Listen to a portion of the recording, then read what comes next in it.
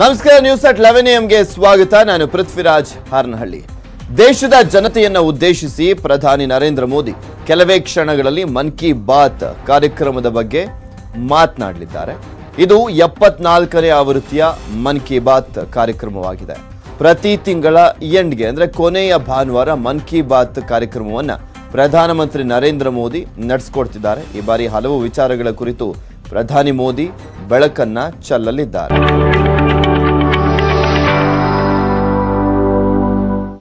मेरे प्यारे देशवासियों नमस्कार कल माघ पूर्णिमा का पर्व था माघ का महीना विशेष रूप से नदियों सरोवरों और जल स्रोतों से जुड़ा हुआ माना जाता है हमारे शास्त्रों में कहा गया है माघे निमग्ना सलीले सुशीते, विमुक्त पापा त्रिदिवम प्रयांति अर्थात, माघ महीने में किसी भी पवित्र जलाशय में स्नान को पवित्र माना जाता है। दुनिया के हर समाज में नदी के साथ जुड़ी हुई कोई न कोई परंपरा होती ही है। नदी तट पर अनेक सभ्यताएँ भी विकसित हुई हैं। हमारी संस्कृति क्योंकि हज़ारों वर्ष पुरानी है इसलिए इसका विस्तार हमारे यहाँ और ज़्यादा मिलता है। भारत में कोई ऐसा दिन नहीं होगा जब देश के किसी न किसी कोने में पानी से जुड़ा कोई उत्सव न हो। माघ के दिनों में तो लोग अपना घर, परिवार, सुख, सुविधा छोड़कर पूरे महीने नदियों के किनारे कल्पवास करने जाते हैं। इस बार हरिद्वार में कुंभ भी हो रहा है, जल हमारे लिए जीवन भी है, आस्था भी है और विकास की धारा भी है। पानी एक तरह से पारस से भी ज़्यादा महत्वपूर्ण है। कहा जाता है, पारस के स्पर्श से लोहा सोने में परिवर्तित हो जाता है। वैसे ही पानी का स्पर्श जीवन के लिए ज़रूरी है, विकास के लिए ज़रूरी है। साथियों माघ महीने को जल से जोड़ने का संभवतः एक और भी कारण है। इसके बाद से ही सर्दियाँ खत्म हो जाती हैं और गर्मियों के दस्तक होने लगती हैं। इसलिए पानी के संरक्षण के लिए हमें अभी से ही प्रयास शुरू कर देने चाहिए। कुछ दिनों बाद मार्च महीने में ही 22 तारीख को वर्ल्ड वाटर डे भी है। मुझे यूपी की आराध्या जी ने लिखा है कि दुनिया में करोड़ों लोग अपने जीवन का बहुत बड़ा हिस्सा पानी की कमी को पूरा करने में ही लगा देते हैं। बिन पानी सब सून। ऐसे ही नहीं कहा गया है। पानी के संकट को हल करने के लिए एक बहुत ही अच्छा मैसेज पश्चिम बंगाल के उत्तर दिनाजपुर से सुजीत जी ने मुझे भेजा है। सुजीत जी ने लिखा है कि प्रकृति ने जल के रूप में हमें एक सामूहिक उपहार दिया है। इसलिए इसे बचाने की ज़िम्मेदारी भी सामूहिक है। ये बात सही है। जैसे सामूहिक उपहार है, वैसे ही सामूहिक उत्तरदायित्व भी है। सुजीत जी की बात बिल्कुल सही है। नदी, तालाब, झील, वर्षा या ज़मीन का पानी, ये सब हर किसी के लिए है। साथियों एक समय था जब गाँव में कुएँ, पोखर, इनकी देखभाल सब मिलकर करते थे। अब ऐसा ही एक प्रयास तमिलनाडु के तिरुवन्नामलाई में हो रहा है। यहाँ स्थानीय लोगों ने अपने कुओं को संरक्षित करने के लिए अभियान चलाया हुआ है। ये लोग अपने इलाके में वर्षों से बंद पड़े सार्वजनिक कुओं को फिर से जीवित कर रहे हैं। मध्य प्रदेश के अग्रोदा गाँव की बबीता राजपूत जी भी जो कर रही है, उससे आप सभी को प्रेरणा मिलेगी। बबीता जी का गाँव बुंदेलखंड में है। उनके गाँव के पास कभी एक बहुत बड़ी झील थी जो सूख गई थी। उन्होंने गाँव की ही दूसरी महिलाओं को साथ लिया और झील तक पानी ले जाने के लिए एक नहर बना दी। इस नहर से बारिश का पानी सीधे झील में जाने लगा। अब ये झील पानी से भरी रहती है। साथियों, उत्तराखंड के बागेश्वर में रहने वाले जगदीश कुनियाल जी का काम भी बहुत कुछ सिखाता है। जगदीश जी का गाँव और आसपास का क्षेत्र पानी की जरूरतों के लिए एक प्राकृतिक स्रोत पर निर्भर था। लेकिन कई साल पहले ये स्रोत सूख गया। इससे पूरे इलाके में पानी का संकट गहराता चला गया। जगदीश जी ने इस संकट का हल वृक्षारोपण से करने की ठानी। उन्हें पूरे इलाके में गाँव के लोगों के साथ मिलकर हज़ारों पेड़ लगाए। और आज उनके इलाके का सूख चुका वो जल स्रोत फिर से भर गया है। साथियों, पानी को लेकर हमें इसी तरह अपनी सामूहिक जिम्मेदारियों को समझना होगा। भारत के ज़्यादातर हिस्सों में मई जून में बारिश शुरू होती है। क्या हम अभी से अपने आसपास के जल स्रोतों की सफ़ाई के लिए, वर्षा जल के संचयन के लिए 100 दिन का कोई अभियान शुरू कर सकते हैं? इसी सोच के साथ, अब से कुछ दिन बाद जल शक्ति मंत्रालय द्वारा भी जल शक्ति अभियान, कैच द रेन भी शुरू किया जा रहा है। इस अभियान का मूल मंत्र है, catch the rain, where it falls, when it falls. हम अभी से जुटेंगे हम पहले से जो रेन वाटर हार्वेस्टिंग सिस्टम है, उन्हें दुरुस्त करवा लेंगे, गाँवों में, तालाबों में, पोखरों की सफ़ाई करवा लेंगे, जल स्रोतों तक जा रहे पानी के रास्ते की रुकावटें दूर कर लेंगे तो ज़्यादा से ज़्यादा वर्षा जल का संचयन कर पाएँगे। मेरे प्यारे देशवासियों, जब भी माघ महीने और इसके आध्यात्मिक सामाजिक महत्व की चर्चा होती है तो ये चर्चा एक नाम के बिना पूरी नहीं होती। ये नाम है संत रविदास जी का। माघ पूर्णिमा के दिन ही संत रविदास जी की जयंती होती है। आज भी संत रविदास जी के शब्द, उनका ज्ञान हमारा पथ प्रदर्शन करता है। उन्होंने कहा था, एक ही माटी के सब भांडे, सबका एको सृजनहार। रविदास व्यापई एक ही घट भीतर, सबको एक ही घड़े कुम्हार। हम सभी एक ही मिट्टी के बर्तन हैं, हम सभी को एक ने ही घड़ा है। संत रविदास जी ने समाज में व्याप्त विकृतियों पर हमेशा खुलकर अपनी बात कही। उन्होंने इन विकृतियों को समाज के सामने रखा, उसे सुधारने की राह दिखाई। और तभी तो मीरा जी ने कहा था गुरु मिलिया रैदास, दीनी ज्ञान की घुटकी। ये मेरा सौभाग्य है कि मैं संत रविदास जी की जन्मस्थली वाराणसी से जुड़ा हुआ हूँ। संत रविदास जी के जीवन की आध्यात्मिक ऊंचाई को और उनकी ऊर्जा को मैंने उस तीर्थ स्थल में अनुभव किया है। साथियों रविदास जी कहते थे, करम बंधन में बंद रहियो फल की नात जियो आस। कर्म मानुष का धर्म है, सत भाखे रविदास।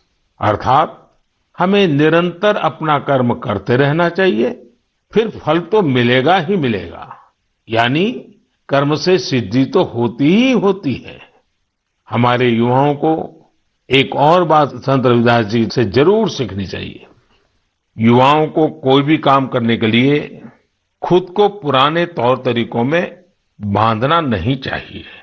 आप अपने जीवन को खुद ही तय करिए, अपने तौर तरीके भी खुद बनाइए और अपने लक्ष्य भी खुद ही तय करिए।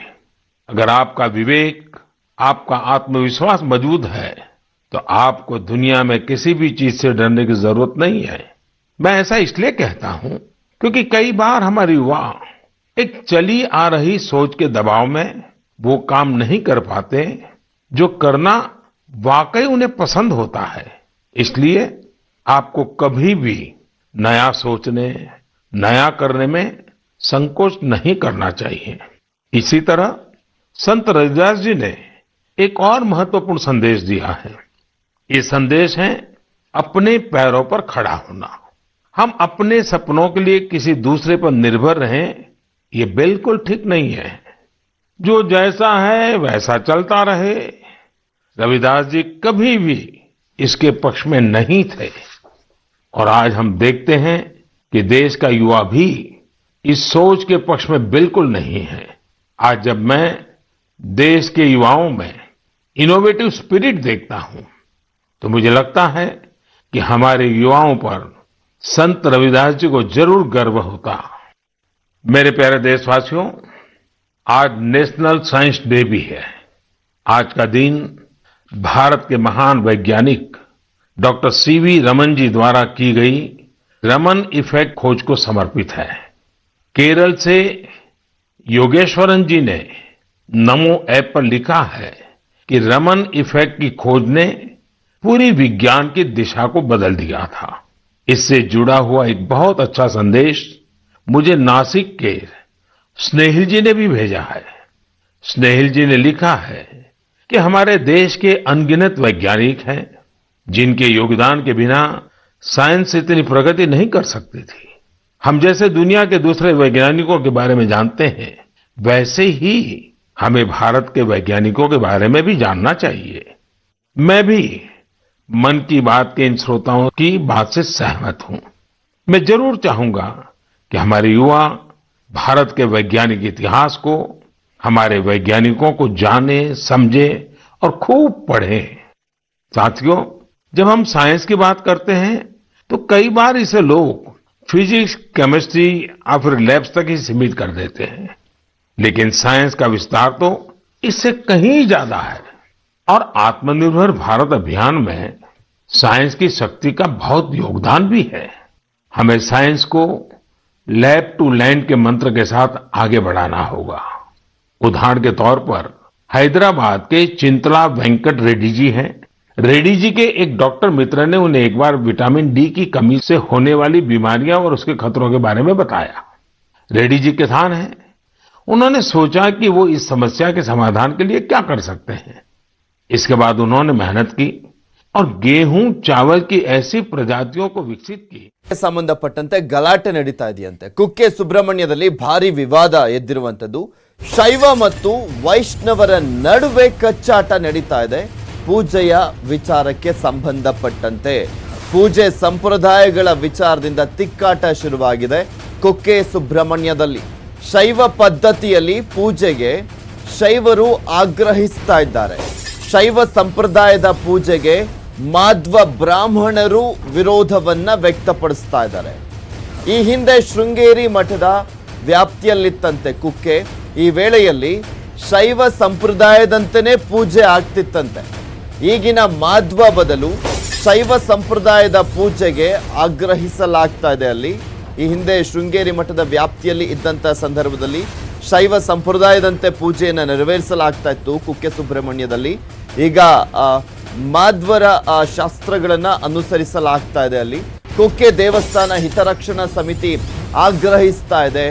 ಶೈವ ಸಂಪ್ರದಾಯದಂತೆ ಪೂಜೆಯನ್ನು ಮಾಡಲಿಕ್ಕೆ. ಎರಡು ಸಾವಿರದ ಏಳರಲ್ಲಿ ಪೂಜೆ ವಿಚಾರಕ್ಕೆ ಅಷ್ಟಮಂಗಲ ಪ್ರಶ್ನೆಯನ್ನ ಮಾಡಲಾಗಿತ್ತು. ಶೈವ ಸಂಪ್ರದಾಯದಂತೆ ಪೂಜೆ ನಡೆಯಬೇಕು ಅಂತ ಆದೇಶ ಬಂದಿರುತ್ತೆ ಅಲ್ಲಿ. ಶೈವ ಸಂಪ್ರದಾಯದಂತೆ ಪೂಜೆ ಆಗಬೇಕು ಅಂತ. ಶೈವ ಸಂಪ್ರದಾಯದಂತೆ ಪೂಜೆಗೆ ಆಗ್ರಹಿಸಲಾಗ್ತಾ ಇದೆ.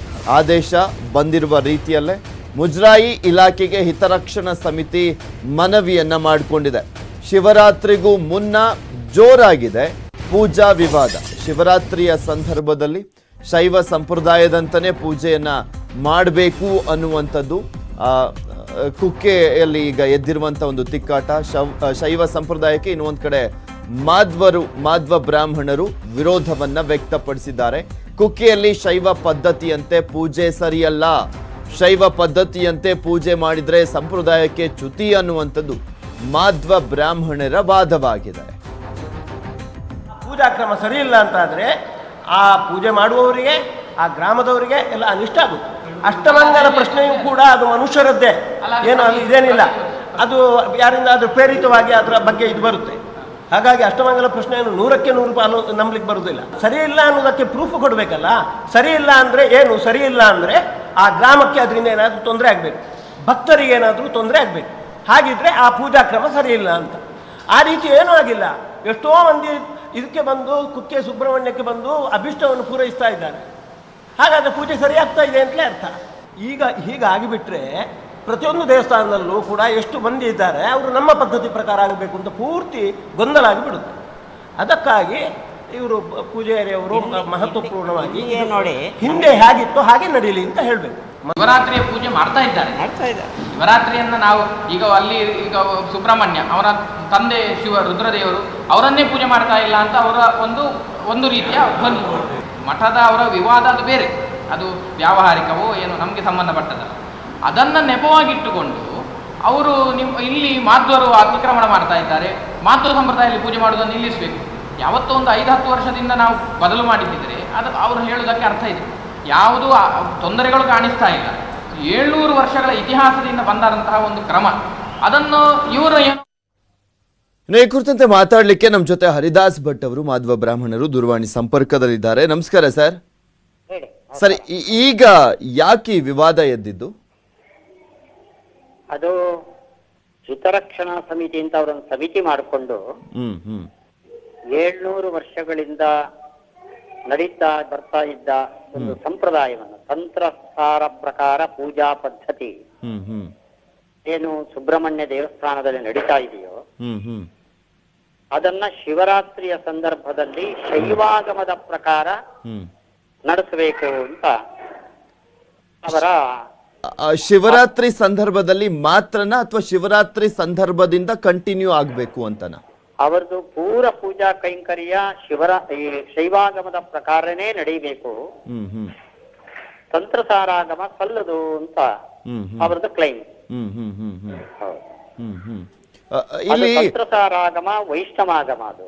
ಓಕೆ ಅದು ಮೊದಲು ಮಧ್ವಾಚಾರ್ಯಕ್ಕಿಂತ ಪೂರ್ವ ಕಾಲದಲ್ಲೂ ಇತ್ತು ಆವಾಗ ತಂತ್ರಸಾರ ಮಧ್ವಾಚಾರದ ಇರ್ಲಿಕ್ಕೆ ಸಾಧ್ಯ ಇಲ್ಲ. ಆದ್ರಿಂದ ಅದನ್ನ ವ್ಯತ್ಯಾಸ ಮಾಡಬೇಕು ಹಿಂದಕ್ಕೆ ಮತ್ತೆ ಬದಲಾಯಿಸಬೇಕು ಅಂತ. ಅವರ ಅಭಿಪ್ರಾಯ. ನಿಜವಾಗ್ಲೂ ನಮ್ಮ ಕ್ಲೈಮ್ ಏನು ಅಂದ್ರೆ ಮಧ್ವಾಚಾರ್ಯರು ಆ ಜಾಗದಲ್ಲಿ ಆದಿ ಸುಬ್ರಹ್ಮಣ್ಯ ಅಂತ ಇತ್ತು ಅದುವರೆಗೆ. ಅಲ್ಲಿ ಸುಬ್ರಹ್ಮಣ್ಯ ದೇವರ ಸನ್ನಿಧಾನ ಇತ್ತು. ಈಗಿರುವ ಸುಬ್ರಹ್ಮಣ್ಯ ದೇವಸ್ಥಾನ ಏನಿದೆಯೋ ಅಲ್ಲೊಂದು ಶಿವಲಿಂಗ ಇತ್ತು. ಅದು ಇವತ್ತು ಕೂಡ ದೇವಸ್ಥಾನದ ಹಿಂಭಾಗದಲ್ಲಿದೆ ಈ ಗರ್ಭಗುಡಿಯ ಹಿಂಭಾಗದಲ್ಲಿ ಇದೆ. ಹ್ಮ್ ಹ್ಮ್. ಸುಬ್ರಹ್ಮಣ್ಯ ದೇವರನ್ನ ಇಲ್ಲೊಂದು ಹುತ್ತ ಇತ್ತು ಅಲ್ಲಿ ಒಂದು ಪ್ರತಿಮೆಯನ್ನ ಇಟ್ಟು ಸುಬ್ರಹ್ಮಣ್ಯನ ಆರಾಧನೆಯನ್ನ ಮಾಡೋದಕ್ಕೆ ಆ ಆಲಯವನ್ನ ಕಟ್ಟಿದವರು ಶ್ರೀ ಮಧ್ವಾಚಾರ್ಯರು ಹ್ಮ್ ಹ್ಮ್. ಆ ಆಲಯದ ವಾಸ್ತು ಅದು ತಂತ್ರಸಾರ ರೀತಿಯಿಂದ ಇದೆ. ಆವತ್ತಿನಿಂದ ಅಲ್ಲಿ ತಂತ್ರಸಾರ ಪದ್ಧತಿಯ ಪೂಜೆ ಆರಂಭ ಆಯಿತು. ಸರ್ ಓಕೆ ಈಗ ಅವರು ಆಗ್ರಹಿಸ್ತಾ ಇದ್ರೆ ನೀವು ಆಗ್ರಹಿಸ್ತಾ ಈಗ ಎಲ್ಲಿಗೆ ಹೋಗಿ ನಿಲ್ಲುತ್ತೆ? ಏನಾಗ್ಬೇಕು ಯಾರು ತೀರ್ಮಾನ ಮಾಡೋರು? ನೋಡಿ ಯಾರು ಇದನ್ನ ತೀರ್ಮಾನ ಮಾಡ್ಲಿಕ್ಕಾಗಲ್ಲ. ಯಾಕೆಂದ್ರೆ ಓಕೆ ಎಂಡೋಮೆಂಟಿಗೂ ಕೂಡ ಇರುವ ಪೂಜಾ ಸಂಪ್ರದಾಯವನ್ನು ಬದಲಿಸುವ ಅಧಿಕಾರ ಇಲ್ಲ. ಓಕೆ ಓಕೆ ಈವನ್ ಕೋರ್ಟು ಕೂಡ ಅದನ್ನು ಬದಲಾಯಿಸೋದಿಲ್ಲ. ಏಳ್ನೂರು ವರ್ಷದ ಒಂದು ಇತಿಹಾಸವನ್ನ ಪೂಜಾ ಪದ್ಧತಿಯನ್ನ ಯಾಕೆ ಯಾರು ಬದಲಾಯಿಸ್ಬೇಕು ಹೇಳಿ? Hmm hmm. Okay thank you sir news eighteen ಜೊತೆ ಮಾತನಾಡಿದ್ದಕ್ಕೆ.